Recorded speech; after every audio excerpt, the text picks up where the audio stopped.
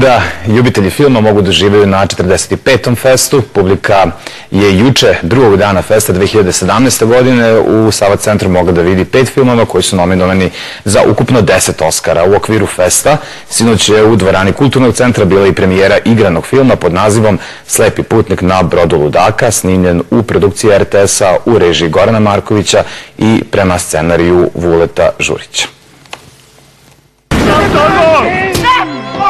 Priča iz duševne bolnice o vremenu bez duše, okupaciji stradanjima. Svedočanstvo o tragičnom kraju srpskog pisca Petra Kočića. Upoznali smo se u osnovnoj školi kao i svi, vjerovatno, ono, čitankama. I to je bilo to što se, ti, što, što se tiče mog nekog znanja o njegovom delu, ali o njegovom životu sam tek saznao sad radeći na ovom filmu. I, i stvarno je sela bi da smo uradili ovaj, taj film zato što je on jedan od svakako najvećih, ako ne i najve, prvi je u svakom slučaju, a, prvi je taj modern, moderni spisatelj u, na srpskom jeziku. U okupiranom Beogradu na početku 20. veka bolnica na Guberecu je absurdna oaza mira, gde još uvek vlada duboko razumevanje, poštovanje i briga za bližnje. Na kormilu broda Ludaka nalazi se doktor Stojmirović, koga igra Tihomir Stanić. Lepili smo jednim specijalnim lepkom ovo moje oko i pošto sam imao naočare, to se nije toliko to nije toliko bilo u filmu, toliko nije primetno, ali je to jedno jako bitno osjećanje za igranje tog lika.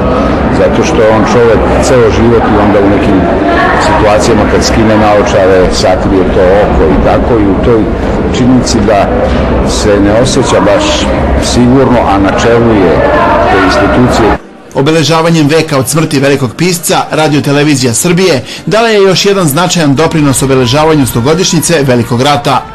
Mesec dana snimanja stalo je u 102 minuta beogradske premijere koju je potpisao Goran Marković.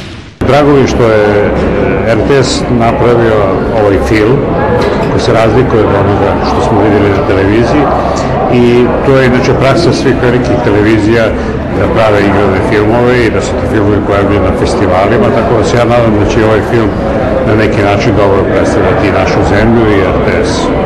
Dramski program Radio Televizije Srbije ima bogatu tradiciju TV filmova i ovaj film spada u one koji će sigurno ostati kao trajna baština.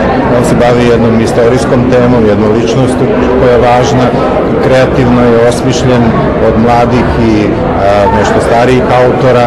RTS kao dobar holding pružio je sve produkcijske uslove i nadamo se da će posle ovog televizijskog života i premijere u bioskopima nastaviti svoj festivalski put. Brod je zaplovio filmskim platnom. Poželimo mu mirno more.